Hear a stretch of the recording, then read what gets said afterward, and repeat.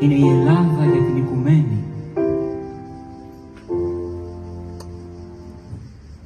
Και ο Λόρδος Βίρον σημειώνει η Ελλάδα ήταν πάντοτε για μένα η πολυπόθητη γη της Ανδρείας, των τεχνών και της ελευθερίας.